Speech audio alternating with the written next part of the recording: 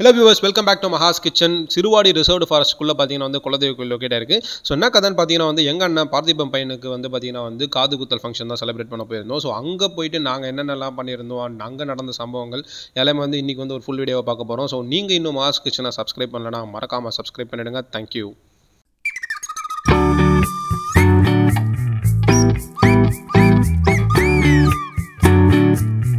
So பார்த்தீங்கன்னா கிட்டத்தட்ட ஒரு நூறுலேருந்து நூற்றி இருபது பேர் கிட்ட போயிருந்தோம். ரெண்டு வேனு மூணு காரில் போயிருந்தோம். மார்னிங் ஒரு அஞ்சு அஞ்சரை மணி போல் கிளம்பியாச்சு.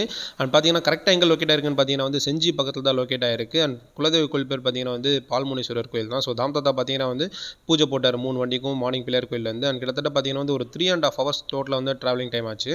பொதுவாக இந்த மாதிரி லாங் டிரைவ் போகும்போது பார்த்தீங்கன்னா டீ பிரேக் கண்டிப்பாக மஸ்ட் தான் சொல்லுவோம். ஸோ பார்த்தீங்கன்னா வந்து வயலில் ஒரு வாட்டி மட்டும் டீ பிரேக் எடுத்து வந்தோம். ஸோ அந்த டைமில் டீ குடிக்கிறது மஜாவாக இருந்தது. ஸோ ஃபைனலாக பார்த்தீங்கன்னா ஊரில் வந்துச்சு. அண்ட் இந்த இடத்த பாருங்கள் பாகுபலில் வர இடம் மாதிரியே இருக்குது மேலே பார்த்தீங்கன்னா சுற்றி ஃபுல்லாக காடு அண்ட் இங்கே பார்த்தீங்கன்னா அந்த மலை எல்லாமே இருந்தது.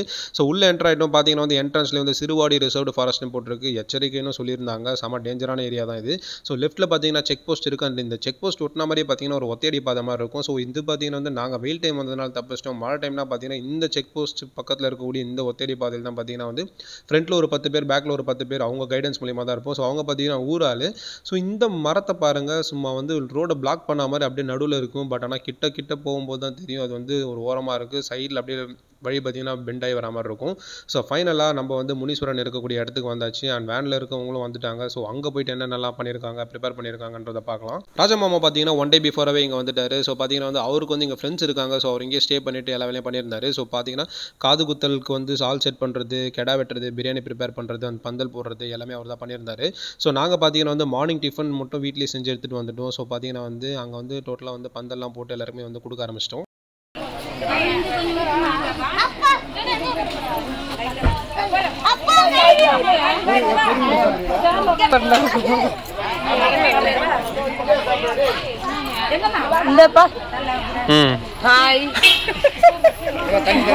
உடனே ஒரு ஹாய் வந்துடும் சந்தியா சந்தியா சந்தியா தான் நிறைய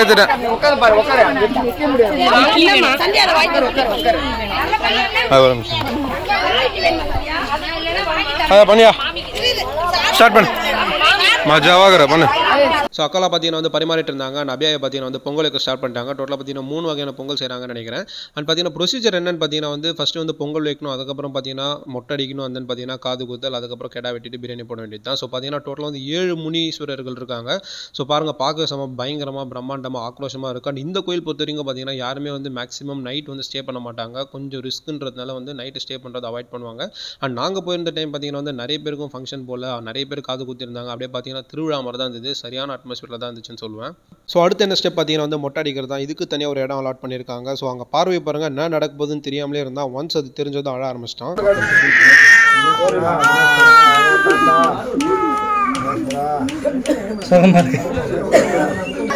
அடிக்க ஆரம்பிச்சா அமைதி ஆயிடுவான் அடிக்க ஆரம்பிச்சா அமைதி ஆயிடுவான் அதிரன்!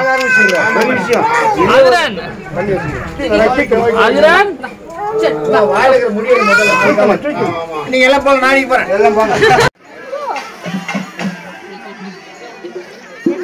டேய்.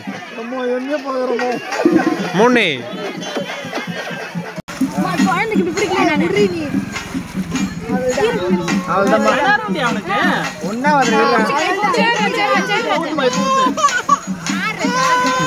எதுவுமே சொல்லுங்க.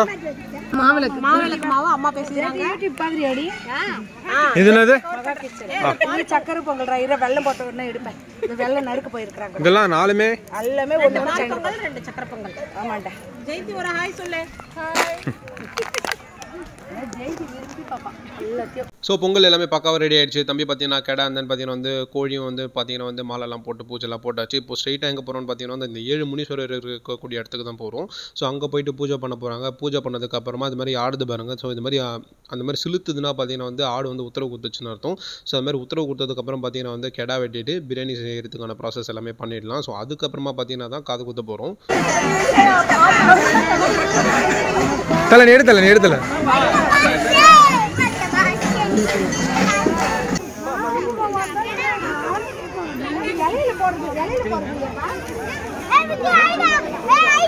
ஆ சரிடா. சரிடா சரிடா சரிடா. ஆ வந்துட்ட வந்துட்ட வந்துட்ட வந்துட்ட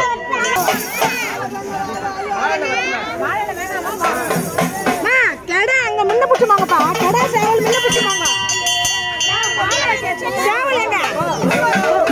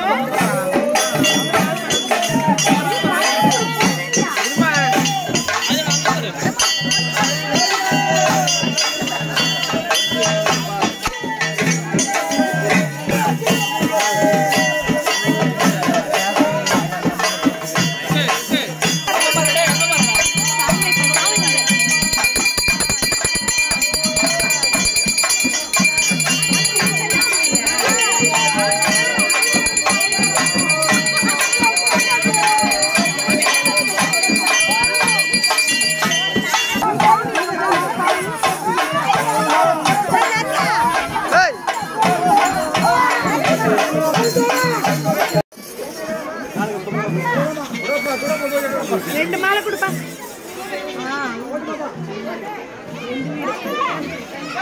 ஆ, ரெண்டு.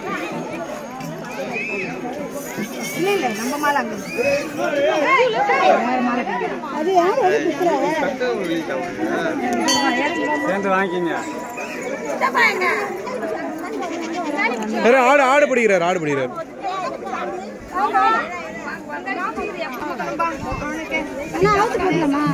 நீங்க தானே போட்டு தின்னு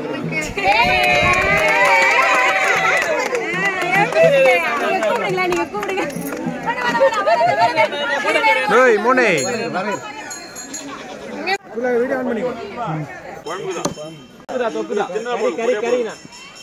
சாமி கும்பிட்டாச்சு உத்தரவு வாங்கியாச்சு கெடாவும் வெட்டியாச்சு ஸோ ஒன்றே ஒன்று தான் பெண்டிங் காது குத்துறது தான் ஸோ பார்த்தீங்கன்னா வந்து காதில் வந்து அந்த மரத்து போகிறதுக்கான ஆயில்மெண்ட் மாதிரி தடவியாச்சு ஸோ தாய் மாமா மடியில் உட்கார வச்சு தான் காது குத்தணும் ஸோ ரெண்டு பேரும் பார்த்தீங்கன்னா மாலை போட்டு காது குத்துறதுக்கான ப்ராசஸ் வந்து ஸ்டார்ட் பண்ணிட்டாங்க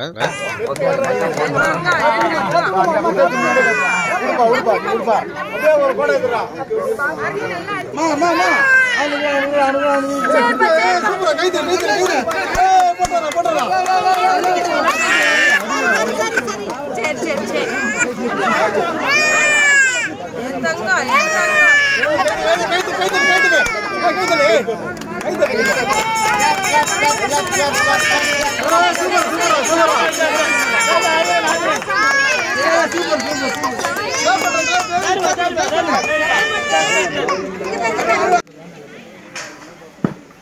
ம் கேஷுவலாக பேசுங்க நீங்கள் பார்க்காதீங்க பேசுங்க